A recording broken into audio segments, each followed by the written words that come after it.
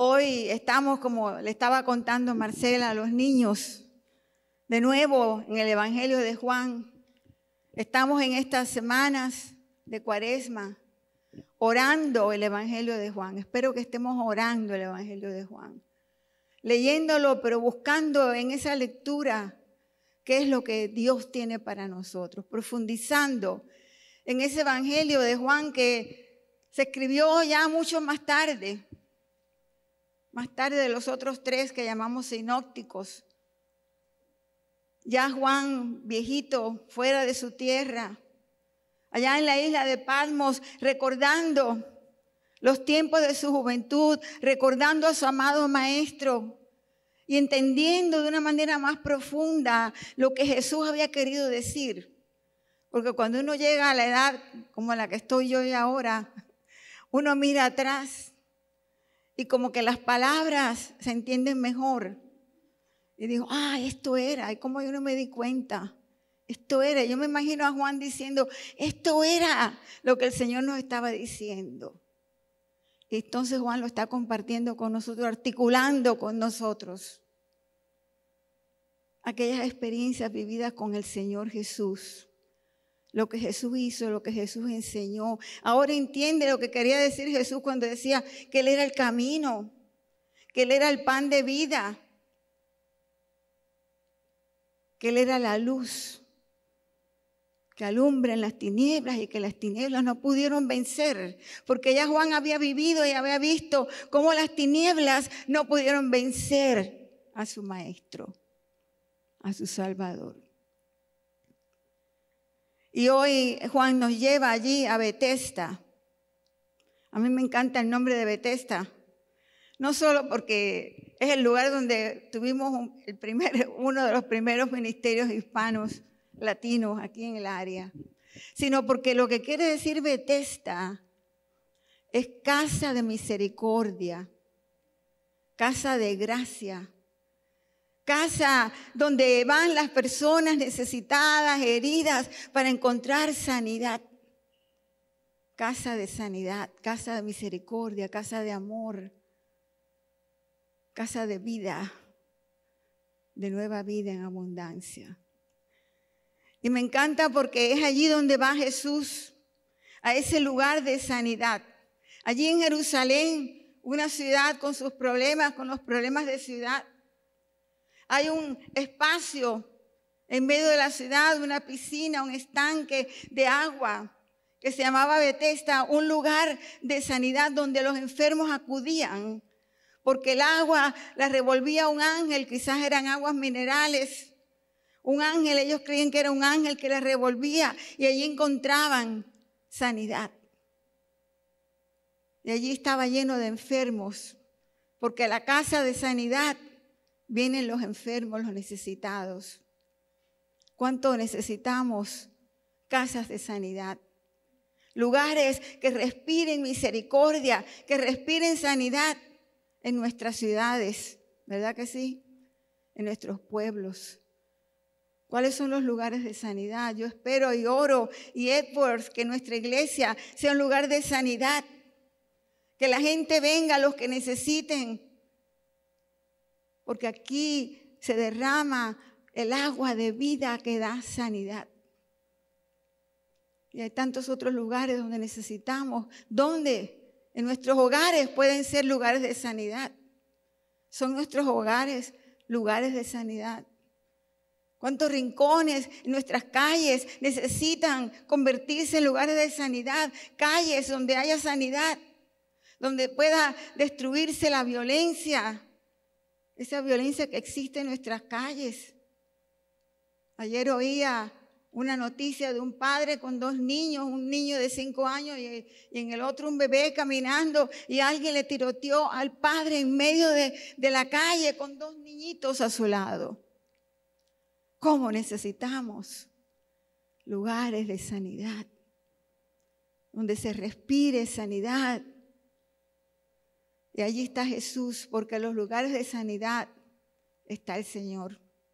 Los lugares donde hay necesidad, hay, hay necesitados allí, porque donde hay lugares de sanidad vienen los enfermos, vienen los tristes, los abatidos, los que no pueden caminar. De allí está el Señor. Los lugares de, sanidad no son necesariamente lindos y atractivos, hermanos y hermanas. A veces tienen mal olor porque vienen las personas que no tienen donde estar, no, pueden bañarse todos los días.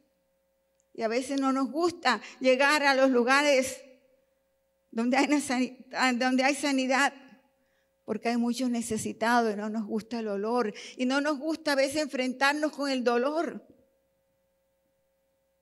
Yo recuerdo, y ya lo creo que lo he compartido antes, cuando yo trabajaba en la Comisión General de Religión y Raza en el corazón de Washington, D.C. Yo iba a Union Station y allí tenía que bajar los escalones y en uno de los rincones de los escalones estaban las personas sin hogar con sus bultos sucios. Y a veces había bastante mal olor y yo a veces me, me, esquivaba, quería no pasar porque me dolía y no quería estar allí. Y aún hoy todavía resisto y a veces no quiero estar donde hay llanto, donde hay dolor, pero es ahí donde tenemos que estar. Es ahí, en medio de la necesidad, del dolor, del llanto, de la parálisis, que el Señor Jesús viene y se encuentra aquel hombre en un lecho. ¿Verdad? Marcela le explicó a los niños. Y Jesús lo mira y le dice, ¿tú quieres ser sano? ¿Qué te pasa? Señor, yo sí quiero ser sano. He estado 38 años enfermo. No sabemos si estaba a los 38 años ahí, pero sí sabemos que estaba ahí. No tengo quien me meta al agua. Ahora, alguien lo había traído allí, ¿verdad? Alguien tenía que haberlo traído pero no tenía quien lo ayudara, parece que se iba la persona. Y Jesús lo mira y cuando el Señor nos mira, Él mira el corazón.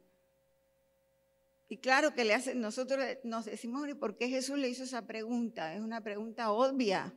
Pues claro que quería sanarse, pero Jesús quiere hacerle la pregunta para que Él la oiga muy bien y retumbe en su corazón. ¿De verdad que tú quieres ser sano? ¿Y por qué no, no, no te oigo clamando, ayúdenme? No te oigo tratando de llamar la atención. ¿Qué estás haciendo para ser sano? Para que alguien te meta en esa agua. ¿De verdad tú quieres ser sano? Pues si tú quieres ser sano, levántate. Levántate. Reconoce tu necesidad, carga con eso que tienes y yo te digo que en mi nombre tú puedes levantarte, coger la camilla, ponerla en tus hombros y andar. Seguir adelante. Tú puedes hacerlo en el nombre de Dios, pero tienes que hacer algo. Tienes que reconocer que necesitas, tienes que hacer algo con lo mucho que yo te he dado. Tienes que tener fe en mí. Yo te digo, levántate y toma todo. Y nos dice el Señor hoy lo mismo. De verdad que tú quieres ser sano de esa, de esa angustia que tienes, tienes. De verdad que tú quieres ser sano del vacío que sientes en tu corazón. De verdad que tú quieres ser sano, quieres cambiar tu vida. Reconoce esa necesidad. Confronta Confronta tu problema, coge tu camilla, coge ese problema y échalo al hombro y en el nombre de Jesucristo. Coge tu depresión, tu tristeza, tu dolor en el cuerpo, tu dolor en el alma. Cógelo, tómalo en tu hombro y echa para adelante. Camina en el nombre de Jesús. Y el Señor lo hizo. Y se levantó y caminó. Gloria a Dios. Cuando el Señor nos mira a los ojos, Él sabe lo que hay en nuestro corazón. Y el Señor nos pregunta, ¿de verdad que tú quieres ser sano? ¿De verdad que tú quieres que ese problema en tu hogar se resuelva? ¿De verdad que tú quieres entregarle al Señor tu vida?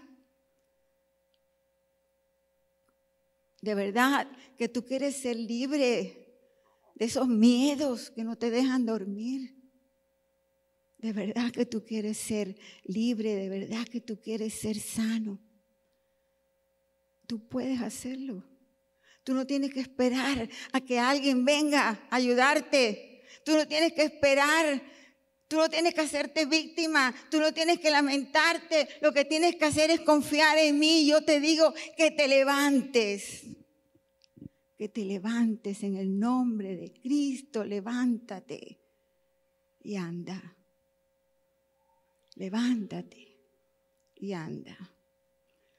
Y el hombre se fue. Pero cuando lo vieron, ¿qué ustedes hubieran hecho? ¿Qué hubiéramos hecho nosotros si vemos a alguien que ha estado paralítico 38 años y de momento lo vemos caminando? ¿Qué hubiéramos hecho? ¿Eh? Nos alegramos, lo abrazamos, saltamos, cantamos con él, pero no, los religiosos de su época, ahí entramos nosotros. Los religiosos de su época, cuando lo vieron caminando con aquella camilla, con el lecho en sus hombros, ¿qué hicieron? Le dijeron, oye, qué bueno. ¿Por qué tú estás haciendo eso? Hoy es sábado. ¿Tú no sabes que el sábado no se puede hacer nada? Los religiosos, hermanos y hermanas, a veces los criticamos, pero ellos estaban creyendo que estaban haciendo la voluntad de Dios. Ellos creían firmemente, se le había enseñado, y es verdad que ese es uno de los mandamientos. Dios mandó que un día fuera de reposo y era el sábado. De verdad que Dios quiere que tengamos un día de reposo. El problema es que cuando hacemos, cuando tomamos lo que Dios quiere que lo hagamos y nos ponemos tan estrictos y lo transformamos, que en vez de ser una bendición se convierte en algo negativo, de crítica, algo que, que lo que estamos mirando a ver quién lo va a hacer y quién no lo va a hacer, ya no es de Dios. Porque el día de reposo puede ser el lunes, el martes, el miércoles. Sí, Dios quiere que tengamos un día de reposo, de descanso, de quitarnos las presiones. Pero aún en el día de reposo, si hay un necesitado, ahí estaba Jesús. En día de reposo, el Señor fue al lugar de sanidad, donde había necesitado, donde había mal olor, donde había dolor, donde había tristeza. Y le dijo, en el nombre de mi Padre, en el nombre mío, yo te digo, levántate, toma tu lecho y anda. Somos nosotros los religiosos de aquella época. Amamos tanto a Dios y venimos tanto a la iglesia que en vez de amar y ver las necesidades de los demás, empezamos a criticar cuando no vienen a la iglesia o cuando llegaron tarde o cuando no pudieron venir al ensayo del coro o cuando no vinieron al estudio bíblico sin saber por qué. Porque Jesús había desaparecido no sabían quién era. Porque Jesús no espera que le den las gracias. Y eso es otra cosa. ¿Verdad que sí? A veces nos gusta que digan, no, pero eso, eso lo hizo fulano de tal, que se nos dé las gracias, que reconozcan que yo lo hice. O que lo hizo la iglesia metodista de Epworth, o la iglesia presbiteriana, o la iglesia episcopal, pero queremos que se nos reconozca. Y Jesús desapareció. ¿Quién te hizo? ¿Quién te dijo que caminaras? No, yo no sé quién fue, le dijo el hombre. El hombre que me dijo, el que me dijo, no sé, se fue. Pero él me dijo que recogiera mi lecho, que me levantara y anduve, y anduve, y estoy andando. Y cuando lo ve en la sinagoga después el sábado, se da cuenta que era Jesús. Y le dice al hombre, a los hombres, a los religiosos que lo criticaban, era Jesús, fue Jesús, fue Jesús. Y el Señor lo ve de nuevo y le dice, tú fuiste que te sané, ¿verdad? ¿Estás sano? Sí, estoy contento, estoy caminando. Y le dice, Señor Jesús, mirándolo de nuevo, ¿verdad? Bueno, qué bueno. Pero ahora todavía te falta un poquito más. Te sané de cuerpo, puedes caminar, pero ahora yo quiero que te sigas con tu vida. Vete, sigue con tu vida y no peques más. Y no peques más. Porque te puede pasar peor todavía si sigues pecando. ¿De verdad quieres ser sano? De verdad que queremos ser sanos. De verdad que queremos tener ese gozo. Ese gozo del cual, cual cantamos, pero que a veces no sentimos de verdad. De verdad que queremos tener esa paz. Esa paz que es una realidad aún en medio de los problemas las dificultades y de los dolores. De verdad que queremos poder llegar a perdonar, a amar, a ser como Jesús. Como estamos haciendo nuestras meditaciones cada día, nuestro anhelo es ser como Jesús. Pero de verdad queremos serlo. De verdad queremos serlo. El Señor nos dice que sí podemos. Que no pongamos más excusas.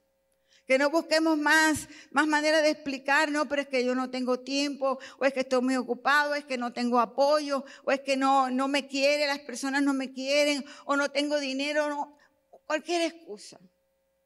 Si de verdad tú quieres, el Señor Jesús está ahí a nuestro lado, diciéndonos, tú puedes hacerlo.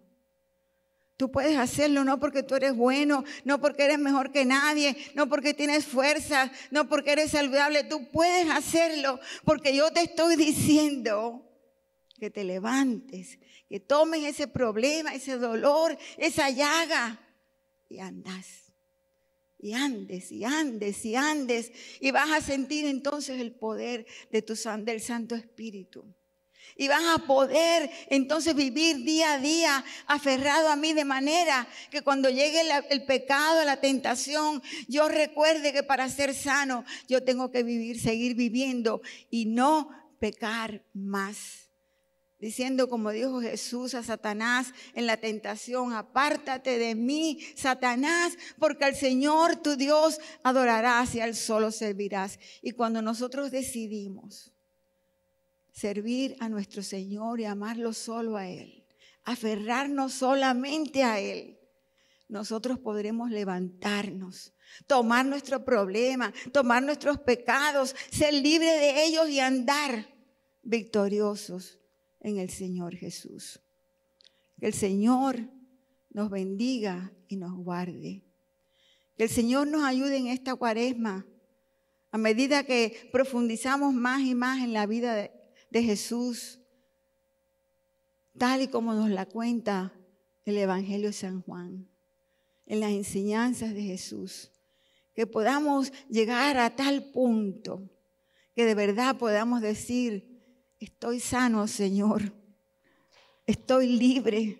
Yo quiero ser sano, Señor. Ayúdame a seguir sano. Ayúdame a seguir libre, aferrado a ti, Señor sabiendo que tú eres mi Señor, mi Salvador, y que tú me mandas día por día andar contigo, a mirarte, Señor, a dejar que tú me mires hasta lo más profundo de mi corazón y a oír tus palabras y creer en ellas, Señor, y levantarme cada día diciéndole gracias, Señor, porque hoy voy a tomar mi lecho Hoy voy a tomar mi problema, hoy voy a tomar mis tentaciones, hoy voy a tomar mi dolor, hoy voy a tomar mi enfermedad, la voy a cargar, te la voy a dar a ti, Señor, y voy a ser libre, voy a ser sano y voy a andar en tu nombre.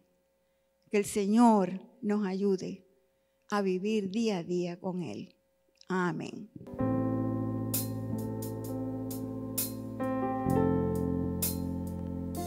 Me viste a mí cuando nadie me vio. Me amaste a mí cuando nadie me amó. Me viste a mí cuando nadie me vio. Me amaste a mí cuando nadie me amó y me dice nombre.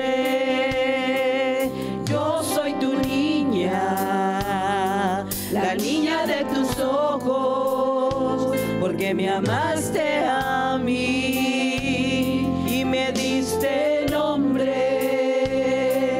Yo soy tu niña, la niña de tus ojos, porque me amaste